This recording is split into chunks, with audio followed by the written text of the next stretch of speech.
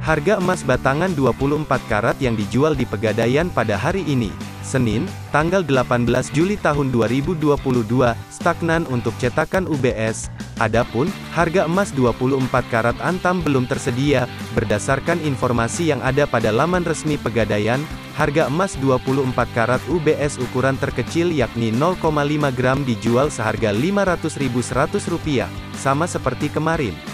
Lalu untuk emas UBS ukuran 1 gram, Pegadaian menjual seharga Rp937.000, sama dengan harga kemarin.